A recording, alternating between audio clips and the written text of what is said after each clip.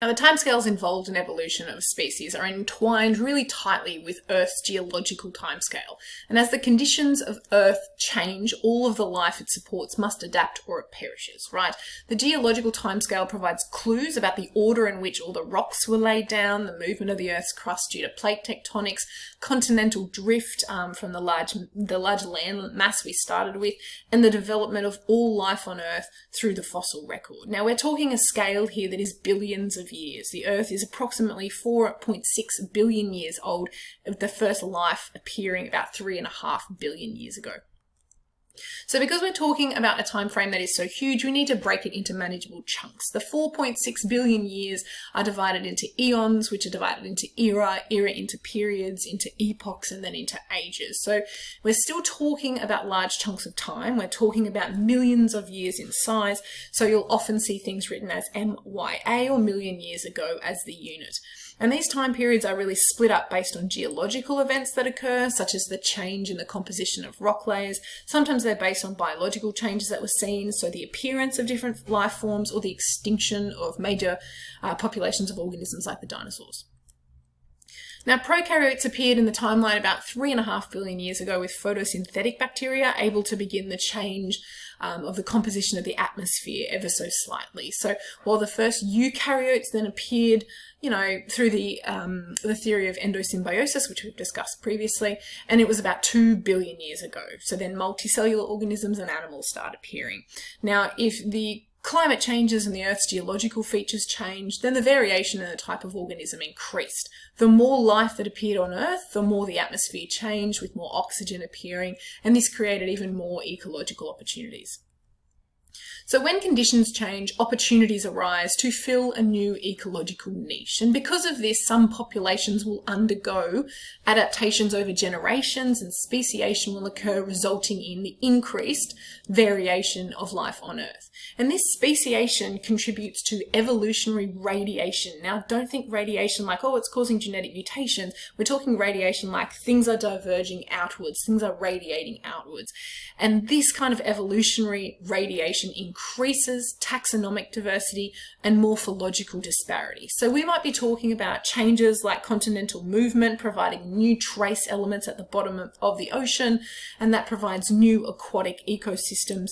And, you know, climate change, which increases and decreases temperature, so organisms with different tolerance levels have more of an advantage, or it might just be the change in the CO2 and O2 levels in the atmosphere. So the fossil record is how we draw inferences about the variation of life on Earth throughout the history. And if we look at the number of families um, seen in the fossil record over time, we can see constant variation throughout. And we can match up these changes with geological changes on Earth. Now we talk about evolution radiation stemming from speciation, which we can kind of see there is substantial increase in variation. If we have more families, we're going to have more variation in, in organisms. That makes sense.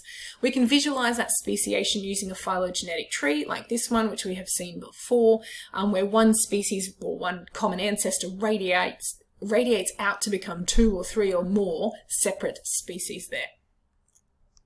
And another change that can create huge evolutionary radiations are extinctions. Now, extinctions of species uh, occur when the environment changes, but a species phenotype or reproductive strategies or survival you know, strategies don't actually adapt with that change. And this might be because of the actual environment conditions suddenly um, being outside of a tolerance range, or it might be because a change has allowed species interactions to change, like a new predator entering this ecosystem. Now, a mass extinction is an episode where a vast number of species are wiped out in a really relatively short time period. Now, keep in mind a time period is might be millions of years. But an example of this is the Cretaceous extinction, and uh, that was around 65 million years ago, and it wiped out the dinosaurs. Although their close relatives, the birds, did survive. You can hear some of them out the back there.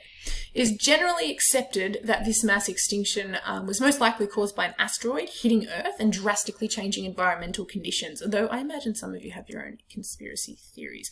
We can see this mass extinction situation in these graphs where it says extinction rate has significantly increased and you can see the spikes in that graph. And you can also see it here where it's got number of families where suddenly the numbers of families drop really quickly in a short period of time. If you look at these diagrams graphing time, the variation, we can see where that occurs again. Here we've got the mean number of animals becoming extinct and you can look for the spikes, whereas here you've got the number of uh, marine families, so you have to look for the drastic drops. And immediately after a period um, of evolutionary radiation appears, right? If there's a drop in the number of families, we have to radiate out from that point. So the variation in the life forms increases as more niche become available to inhabit. So we're starting to see crossover between Unit 3 and Unit 4 here. The Earth has had about five major mass extinction events, and they're all fascinating to read about. And as we slowly, but in the grand scheme of time, you know, quite quickly, kill the planet and set the Earth on fire and all those kinds of things like that, we're talking, uh, there's a lot of talk that humans are causing the next sixth extinction or mass extinction. So, yay us, achievement. So, on that pleasant note, please make sure you are looking at what we are trying to achieve in these lessons.